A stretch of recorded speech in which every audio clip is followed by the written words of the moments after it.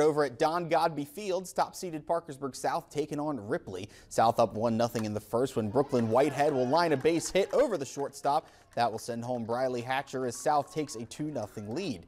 Still in the first, Kaylee Lockhart with two on. She'll also nail a base hit to left center. That will score Jaden Vargas and Brooklyn Whitehead. South takes a 4-0 lead after the first inning. Now Ripley would threaten with the bases loaded, but Alexi Dellinger gets the batter swinging for strike three, retiring the side, no runs given up. We move to the third, 5-0 lead when Becca Beatty launches this one deep to right.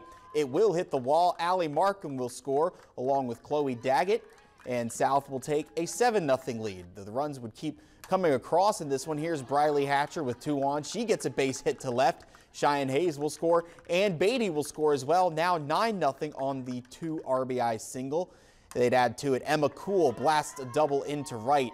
Whitehead would score, and they'd get to a double-digit lead. All Patriots in this one. They take down Ripley at home 15 to nothing. They will host the winners bracket final tomorrow night.